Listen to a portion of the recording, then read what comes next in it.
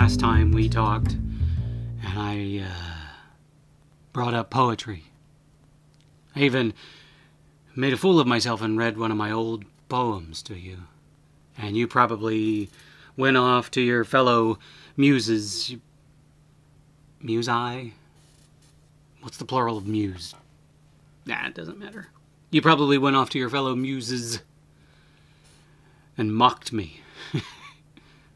oh my god, my writer writes such horrible poetry. Blah, blah, blah, blah, blah, blah, blah.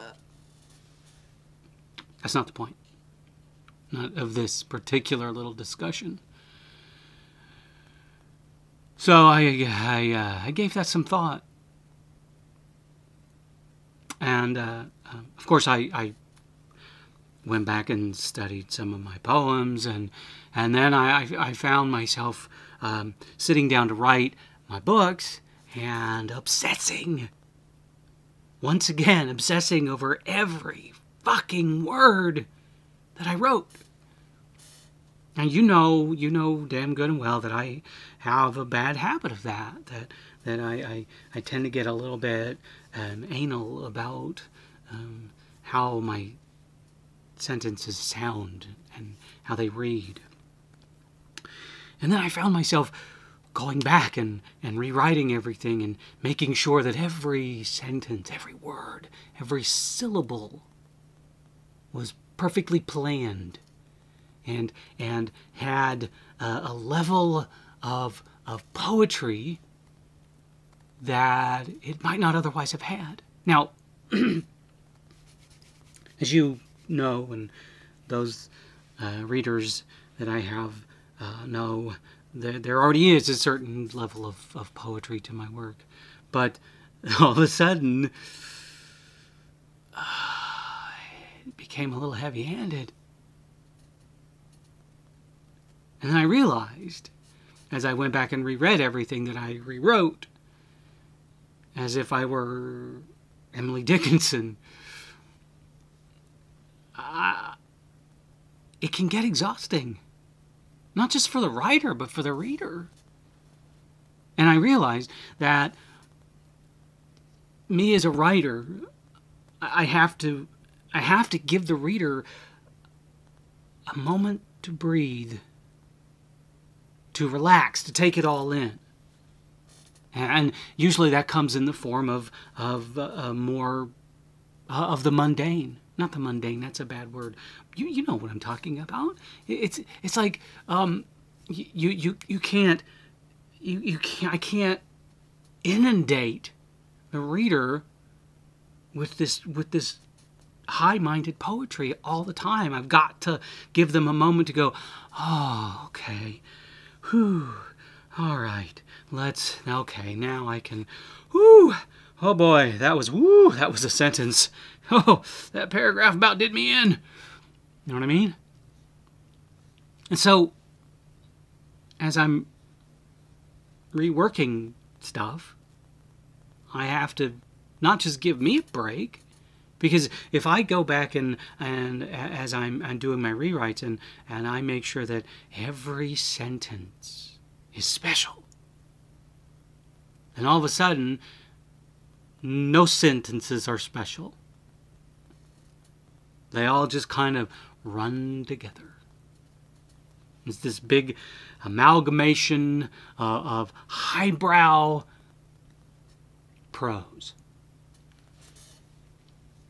So, in the middle of all of this nice fancy stuff, fancy wordage, verbiage, you gotta give them something plain.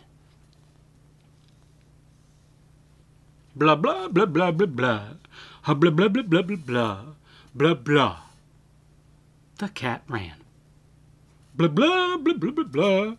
Blah blah blah blah blah blah blah blah. Watch him go. Blah blah blah blah blah blah. Blah blah blah blah blah blah blah blah. I see. You see what I'm getting at? Uh, blah blah blah. You can assume blah blah blah means whatever it means, but hopefully you got what the meaning there, Mr. Muse, Mrs. Muse.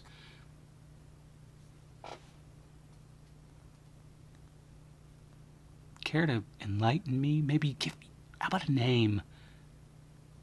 I give and I give and I give and I don't get. Oh, I take that back. no, no, no, no, no, no, no, no, no, no, no, don't turn your back on me. Come on. I was only kidding. I get, I get, and I get, and I get.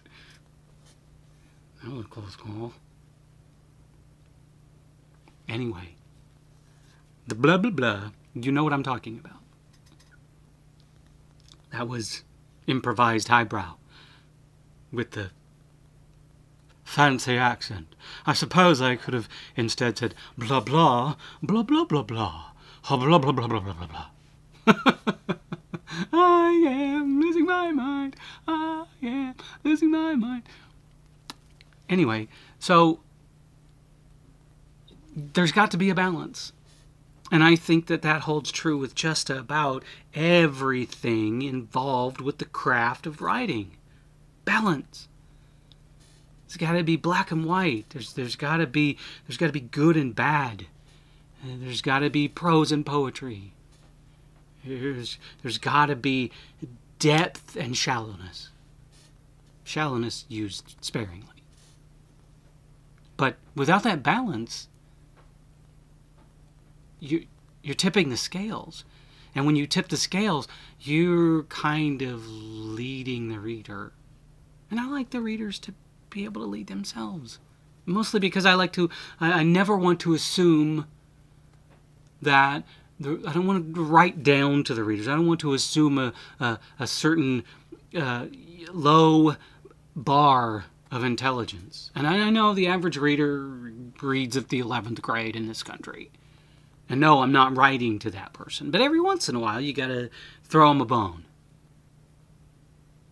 I think personally, I've always felt that that um, as a writer, part of my job is to to help enlighten people, even if that means that they read a phrase and go, "Hmm, I might need to look that word up," or "Let me reread that to make sure I know exactly what they're saying."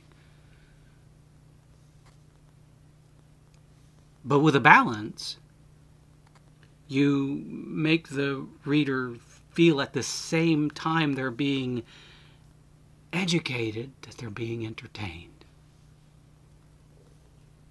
Make sense? I, guess the moral of the story is pretty simple.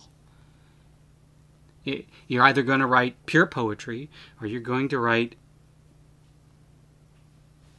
prose. That does not mean that the prose cannot be poetic, and it also doesn't mean that the poetry cannot be prosaic. They gotta blend. And in that blending,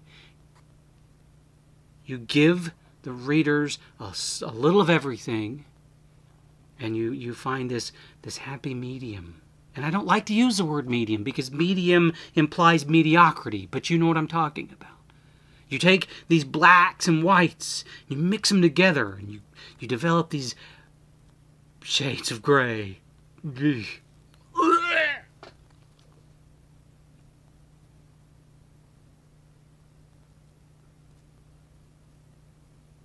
Anyway, that's what's going on up here.